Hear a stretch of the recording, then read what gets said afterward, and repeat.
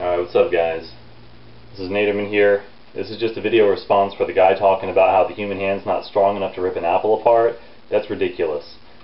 Not just anybody's going to be able to do this, but if you work on thick grip strength and just overall hand and wrist strength, then you're going to be able to do something like this. Instead of doing this whole leverage deal, all you're going to do is you're going to take an apple, right, this is an apple, and you're going to grab here, you can grab here. Notice I'm not pushing against each other or anything like that. Thumbs are apart, and I'm going to step to the side so you can see what's going on here, right? I'm just going to, oh, my thumbs are slippery now because I was screwing with my uh, face, face oil. The one thing you will need to do is have good friction because it doesn't matter how strong you are if something's slippery. So, you have the apple, right? Thumbs are not pushing against each other.